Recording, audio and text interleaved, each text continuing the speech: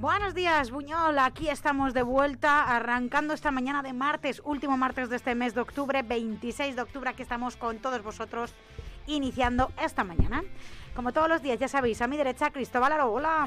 Hola, Pilar. Buenos días. Buenos días también a todo Buñol y toda la comarca. Claro y bienvenidos a otro, otro programa más de información divertida y diferente. Bueno, Claro. divertida no, diferente. Por lo menos a veces la intentamos hacer divertida, aunque la información no lo sea, por lo menos nosotros lo intentamos. Eh, a los controles, eh, como siempre, Raúl Martínez.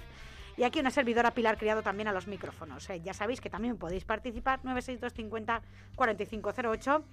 Y también, pues como ya sabéis, todas las mañanas empieza Cristóbal arrancando con la actualidad digital. Cuéntanos. Vamos allá, recogemos las noticias de los diarios digitales, las que queremos nosotros, claro, por supuesto. Cada uno elegiría unas diferentes. Y aquí en este programa de, información divertida, di- diferente, pues ele- seleccionamos en los digitales las siguientes noticias. Eh, por ejemplo, en el diario.es nos cuentan, Casado maniobrará para que Bruselas tumbe la derogación de la reforma laboral. Ya sabes, la reforma laboral esa que dice que si te pones malo te pueden despedir. Bueno, pues eh, Casado va a maniobrar en Bruselas para que no se derogue la reforma. También nos cuentan que el PP, Vox y el PNV buscan evitar el recorte a las ganancias inmerecidas de las eléctricas por el CO2. En fin, cada uno ya sabe a quién defiende. O por lo menos deberíamos de saberlo, otra cosa es que lo sepamos. Luego también nos cuentan, por ejemplo, que una nueva fosa muestra la brutalidad de los primeros fusilamientos franquistas. La verdad que hay que leerlo para ver las barbaridades que hacían. Bueno, para no olvidarnos, claro, no va a ser que nos olvidemos y volvamos a repetir la historia. Luego también nos cuentan la siguiente barbaridad, como si no pasara nada, ¿eh? La concentración en la atmósfera de gases que provocan el cambio climático bate otro récord. Ya sabéis que llevamos unos 25 o 30 años diciendo que hay que bajar, rebajar el número, la cantidad de gas que estamos emitiendo a la atmósfera, ¿no? Bueno, pues no solamente no bajamos, sino que seguimos batiendo récords. También nos cuentan que el Banco de España, este banco que no se enteraba de nada con Bankia, ni con el Banco de Valencia, ni con nada de nada de nada, este Banco de España pide no subir el IPC a las pensiones y los salarios ante la subida de precios. Cosa muy lógica, ¿no? Si no puedes pagar lo que cuestan las cosas, pues que no te suban el sueldo. Es una consecuencia lógica del Banco de España. Y luego también nos cuentan que Israel tacha de terrorista a seis grupos palestinos de derechos humanos. Nunca se podía imaginar que defender los derechos humanos fuera terrorismo, pero en fin, estamos en un momento de la historia que hay que verlo, ¿eh? para creerlo. Mira, más cosas que tampoco parecen mentira y que son verdad. Carlos Fabra era el presidente de la Diputación de Castellón del PP y tenía empresas con corrupción generalizada, ¿no? Bueno, pues la empresa de Carlos Fabra, procesada por blanqueo de capitales, obtiene préstamos por más de por medio millón de euros. Los bancos son los que prestan dinero, ¿no? Pero los bancos ya se sabe lo que están haciendo, por lo que se ve. Bueno, vamos al diario público. Hacienda, que debería de estar preocupándose por el bienestar de todos los españoles con el dinero que estamos pagando de nuestros impuestos, se niega a incluir en el presupuesto del Estado para el año que viene el fondo para las víctimas del amianto. Más cosas del diario público, porque este diario yo lo recomendaría encarecidamente si queréis estar bien informados. La verdad que es un periódico que informa de un montón de, noticias, hace investigación de un montón de temas que están prohibidos para el resto de los periódicos españoles y de las televisiones. Y la verdad que está muy, muy interesante de leer, la verdad. Bueno, pues en el diario público hay un artículo que me lo voy a guardar para el programa del 15M y ya os lo leeré entero porque vale la pena. Ya sabéis que hay un montón de gente ahora, políticos sobre todo, pero hay de todo también. Hay incluso profesionales de la, de la educación que están haciendo un repaso a la historia muy particular, ¿no? La historia es la que es, pero hay algunos que no le interesa contar la historia como ha sido, ¿no? Y muchos políticos están diciendo que si la historia de esto o del otro ha ocurrido así o ha ocurrido asá. Y un catedrático de, de historia de una facultad aquí en España ha escrito el artículo que se llama El secuestro de la historia. vale la pena leerlo porque es muy aclarador de cómo nos están manipulando y recontando, reescribiendo la historia, ¿no? Es curioso, está muy interesante. Bueno, también nos cuentan en otro artículo el del diario público una para que vayamos entendiendo muchísimas cosas que nos están ocurriendo y por qué nos están ocurriendo, si queremos aprender cosas. Nos cuenta, no quería volar con una negra. Hacen un repaso de las sentencias de muchos tribunales aquí en España que tela marinera. Y algún día también la leeré en el programa este de 15M porque la verdad que es muy aclarador de cómo funcionan los tribunales aquí en este país.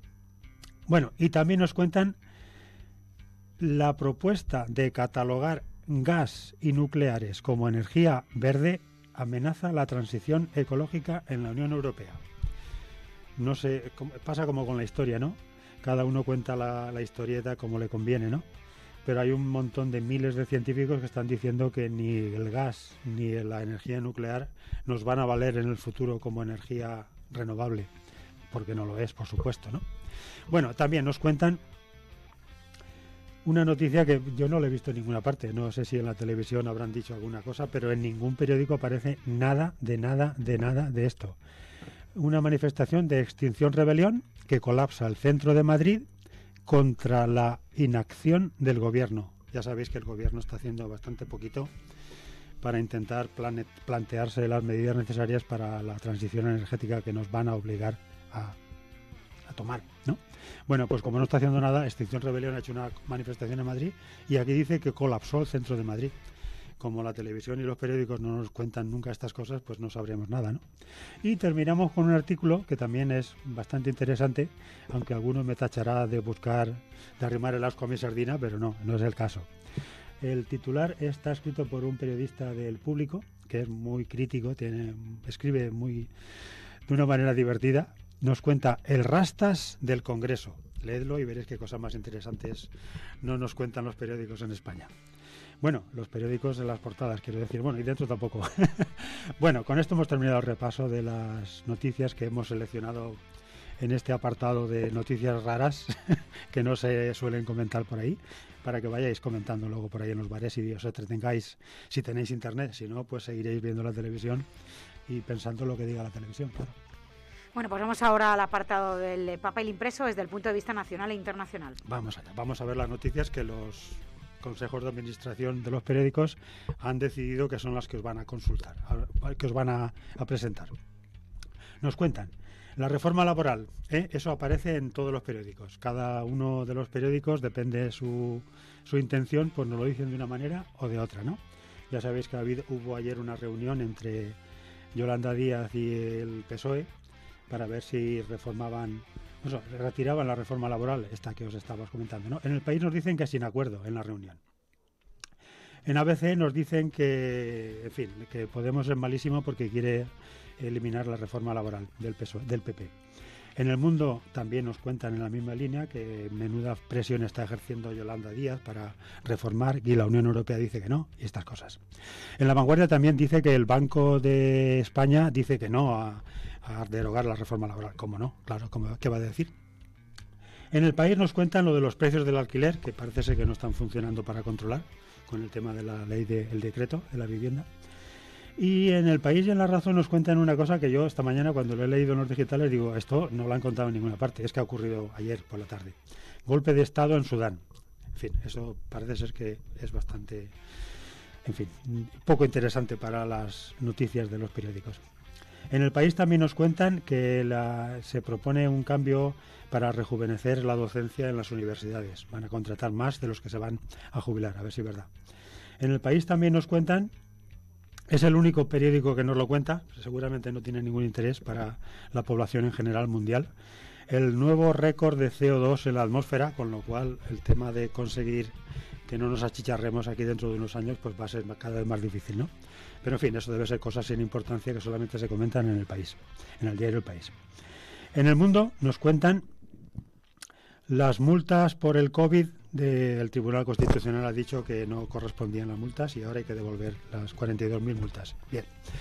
En el mundo también nos cuentan que los alumnos de eso y que tengan necesidades especiales pues van a conseguir pasarla lo que ocurra. Luego también nos cuentan lo del Banco de España, eso por supuesto, ya sabéis que para muchos periódicos el Banco de España es Dios y su madre. El Banco de España dice que habrá menos recuperación. Nos lo cuentan en el mundo, en la razón y en la vanguardia. Y en todos los económicos, claro. Lo del recibo de la luz, que dice que no está funcionando las medidas del gobierno, en el mundo. En el mundo también hay un apartadito para decir que Rusia y China caminan juntos en el Pacífico, en fin, historietas de estas de estos periódicos que nos cuentan sus milongas. Lo de la razón nos cuenta que el PSOE eh, llega a un acuerdo con el PP para el Consejo General del Poder Judicial a costa de Podemos, no tenemos ninguna duda, ¿no? Primero PP y PSOE y después ya lo que venga. Esto nos lo cuentan en la razón. También en la razón nos cuentan lo del escaño de Podemos, este que el Tribunal Supremo ha quitado del Congreso. En La Razón. Y en La Razón también es el único periódico que nos habla del volcán, con una pequeñita imagen. Y en La Vanguardia nos cuentan lo de los renovables en Cataluña, que necesitará que la, que la parte social tenga su, su interés también en los negocios renovables. Y nos cuentan la noticia, que también nos dicen en los diarios de información económica, que la empresa Earth de alquiler de coches ha hecho una compra de 100.000 coches eléctricos. Como veis, la cosa va en serio. ¿eh? Y, un, y lo del pase COVID aquí en España también no, lo comentan en la portada de la vanguardia. Estas son las noticias que han escogido los periódicos para presentar en portada. Ya vamos a, a ver ahora los deportivos, a ver lo que cuentan hoy. Venga, pues los deportivos cada uno va un poco a su, como no ha habido grandes partidos, va un poco cada uno a su beneficio. En marca, lógicamente, siguen realzando el Real Madrid con el tridente de Ancelotti, así llaman a Rodrigo, Benzema y Vinicius. Sale la imagen de ellos tres y dice, Vinicius y Rodrigo cuajan como los socios más rentables de Benzema. También nos dicen del Barcelona, Kuiman se mantiene por el momento y también del... Nos dicen, en la guardia austera de Copicho, en capítulo 1 sobre el serial Marca, que está realizando capítulos no sobre la historia de este periódico. En As, por ejemplo, en grande aparece Vinicius y dice Superstar el brasileño se convierte perdone, en el jugador de la liga, es líder en regates, su efectividad se acerca a la de Benzema y tiene la tercera punta de velocidad de Europa. El primer día en el Castilla ya se fue de cuatro, recuerdan sus excompañeros. También nos hablan de en cuanto al el, del Atlético, dice llegar tarde a los partidos sale caro. El equipo de Simeone ha empezado perdiendo en siete de sus doce encuentros y solo puede remontar en tres, lógicamente. Del Barcelona hizo un Barça pequeño ante los grandes y de tenis Muguruza y Badosa se borran. También el mundo deportivo hablan de Dembélé. El Barça dice que se da un mes para convencer al jugador de que es una pieza clave para la reconstrucción del equipo y que debe renovar. Aparece la imagen de él en el momento pues, del entrenamiento y dice que su agente es reticente a esa renovación y bueno, pues ahí estarán peleando un poquito por ello, ¿no? También nos dicen en Mundo Deportivo de MotoGP, así es el nuevo campeón Cuartararo. Y en tenis nos hablan de eh, Carlos Alcaraz, la gran novedad para la Copa Davis. También en Sport, Pedri nos dice en ese frenazo, dice, paso atrás con Pedri, el club para, para el regreso del tinerfeño por precaución y volverá a jugar tras el parón. Dembélé, ok, de John Cao. El Barça podría recuperar ya al francés, pero el centrocampista es baja para el Rayo. También nos recuerdan eh, los premios, ahora es momento de, premiar, ¿no? En este final de año y más eh, ahora que está mejor la situación pandémica, pues se están sucediendo los premios, ¿no? Por parte de los periódicos deportivos. En esta ocasión, por parte de Sport, así han llamado los Women Sport, primeros premios de la mujer en el deporte. Y dice, campeonas Sport y Woman premian a 10 referentes del deporte femenino. Muy bien. En Superdeporte, nos ha, una entrevista en exclusiva al actual entrenador del Levante Unión Deportiva, una situación de descenso. Se encuentra en estos momentos y un gran partido difícil que tiene este jueves contra el Atlético de Madrid, o sea que es complicado. Y dice, no pienso en 2011, tenemos que salvarnos como sea. También no pierden la fe. Una imagen en grande del equipo del Valencia y dice, el 60% de los votos en la encuesta Super cree que el objetivo para el Valencia Club de Fútbol en esta temporada es Europa. A ver si lo consiguen.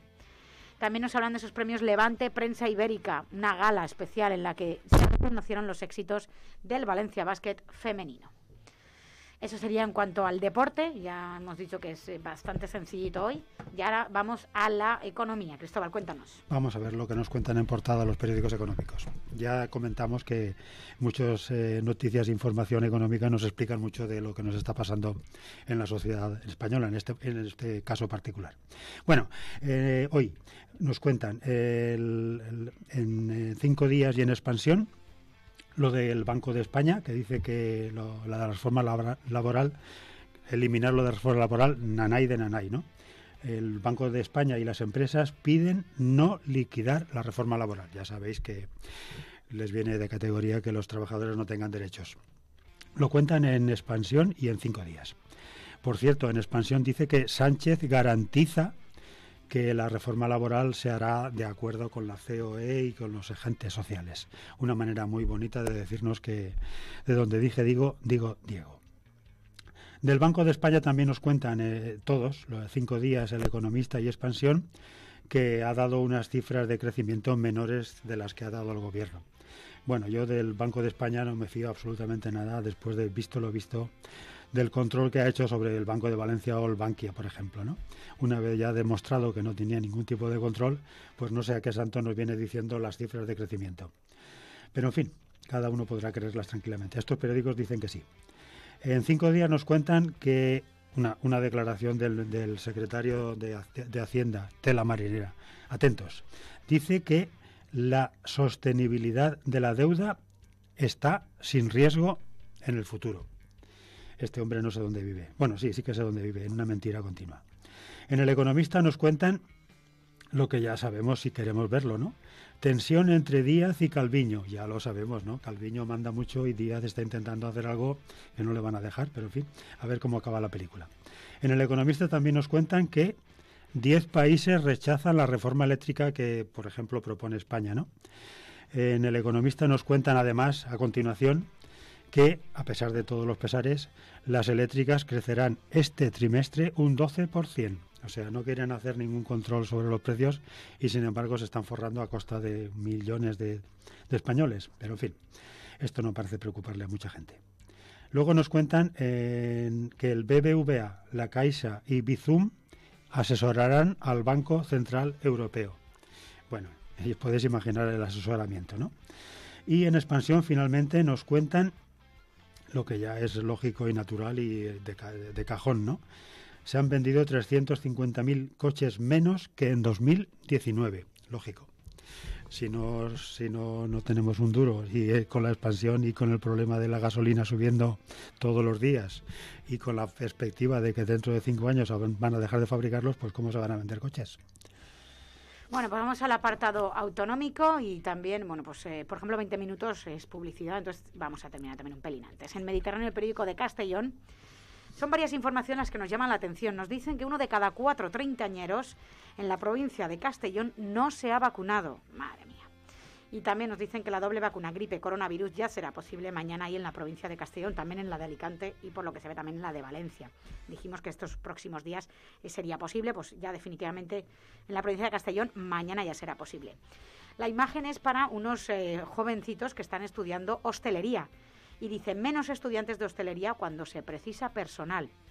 Casi la mitad de plazas de FP quedan desiertas a pesar de la demanda de bares, restaurantes y hostales. O sea que fíjense, ¿no? Hasta qué punto también está llegando un momento difícil, ¿no? Para la juventud en todos los sentidos. también nos hablan, por ejemplo, de la denuncia del robo del cadáver de un burro del desert en Cabanes. Es que es impresionante. También nos dicen, PAMESA impulsa una planta para comprobar el hidrógeno verde como alternativa. Y también Marie Claire concentra toda la producción en Vilafranca tras cerrar en Borriol.